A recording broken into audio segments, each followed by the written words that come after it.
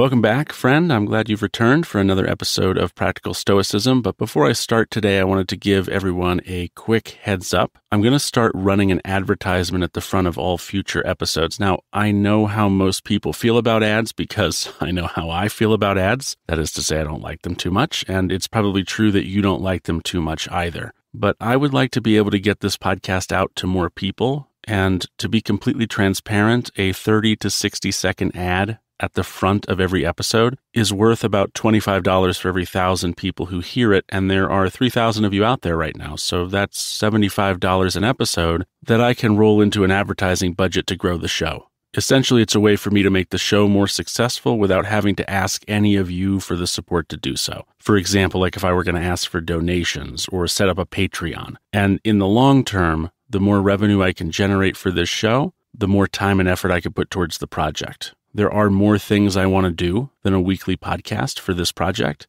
For example, I have plans for a book and a few other things, but it all starts with being able to afford the time to dedicate to those other things. And that starts with being able to market the show a little bit to get it beyond just what I can reach organically. And lastly, I wanted to make a promise to you in concerns to these ads. I will never run one during an episode. I find that that sort of thing is hugely disruptive, and I feel that the work we're doing here is a little too important to be interrupted by an ad for a Keurig coffee maker or something. I've also worked with Megaphone, who's my hosting provider, to ensure that certain ad categories aren't allowed to appear in the ad before each episode. So, for example, ads for politicians. I respect that you give me some of your time every week, and I wanted to let you know that this change was coming before it happened, so you're not caught off guard.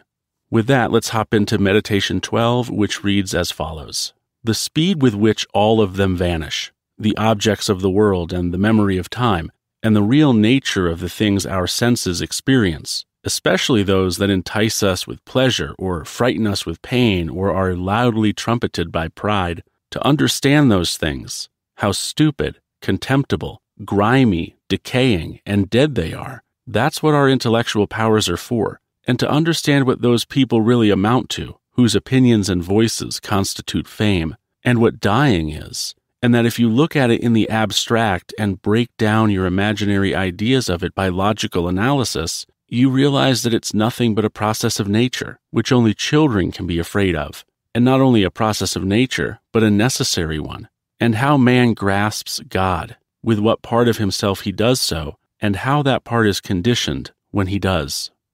In my opinion, where this first book is concerned anyway, and by the way, we only have five meditations left before we start book three, this is where things start to get interesting.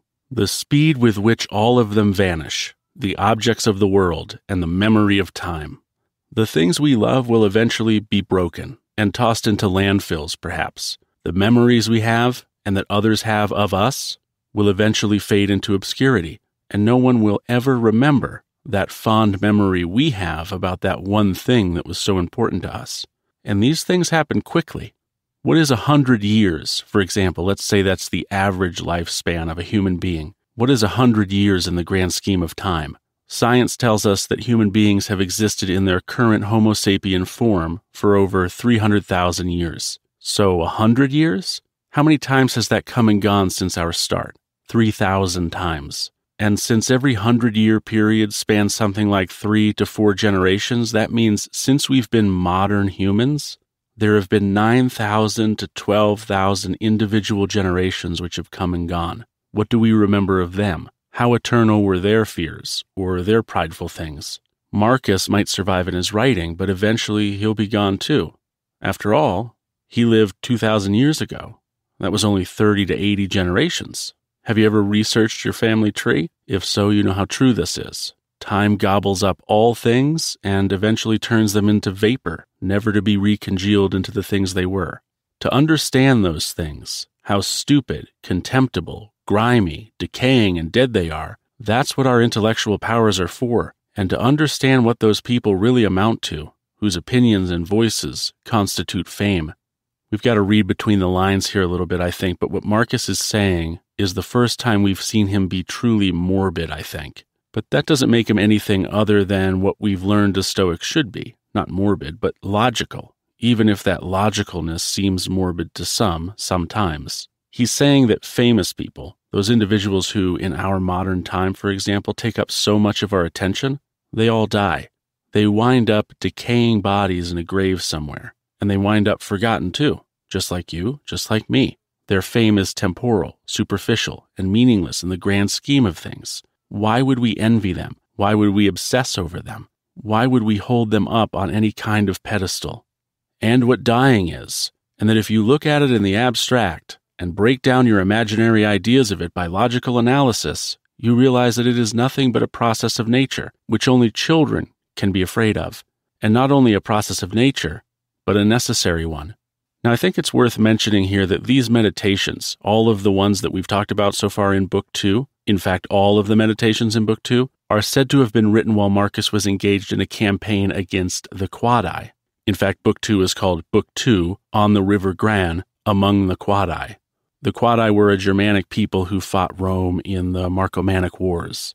And if that's true, death would have been not only on his mind, but also happening right before his very eyes on the battlefield. That means that these meditations aren't just thoughts that Marcus is writing down while lazed in a chair in his study at the end of a day of eating grapes and being an emperor. They are instead thoughts that he is writing down and which are helping him to psychologically navigate the reality which may have been surrounding him at the very moment he wrote them down. So, to reduce your fear of death, and especially fear of your own death, down to an inevitability and a necessary process, I imagine this is quite useful in a situation where you might actually die, but also during times where you might waste time or place too much importance on what someone else thinks of you. In all of his writings, Marcus strikes me as having been a very practical kind of man. And maybe that's why we're starting practical stoicism with an exploration of the meditations. He's not writing these things down in a vacuum. He's applying the values of these meditations in the very life that is bookending them. And Meditation 12 closes with, and how man grasps God, and with what part of himself he does so, and how that part is conditioned when he does. Remember, Marcus thinks of God as being a rational universe, more so than he does of God or gods being individual beings. And he believes in it being a rational universe of which we are a part and from which we are constructed.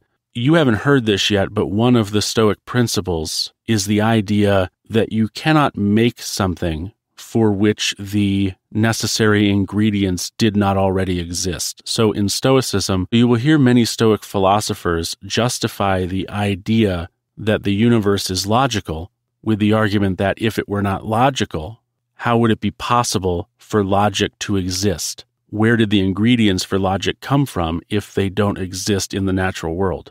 Now, that'll be far down the line. We're not going to get into that in meditations, I don't think but I did want to sneak it in there because it's an interesting thing to think about. I don't think Marcus is mocking anyone in this closing thought, nor do I think he is advocating for his conception of God. Instead, I think he's saying something more practical and obvious. I think he's saying it matters how you choose to think of God because your intellect is affected greatly by that choice. If you grasp God wrongly or poorly, you'll spend your life differently and perhaps not as well than you would have if you grasped God differently or better but also maybe focusing on understanding God correctly helps you to view life more stoically. And you should keep that in mind when deciding how God or the conceptual understanding of God will fit into your life. So, what's the practical takeaway from this one? I think it's this it's all temporal. We all die. That makes us all equal in the end. And what matters most is that we understand this and use it to think more rationally about how we spend our time and our energy. Also, how important we aren't in the long term, and how this makes our behavior in the here and now all the more deserving of our focus and attention. And then finally, also, to be careful what we believe, because what we believe shapes us in ways we cannot recover from. Like to thank you for listening to this episode of Practical Stoicism. If you haven't already, I would really love it if you would leave a review for this podcast on Apple Podcasts, Spotify Podcasts, or Podchaser.com. And again, as always, thank you for spending some of your week with me. I look forward to these Saturdays. I hope you do as well. And until next time, take care.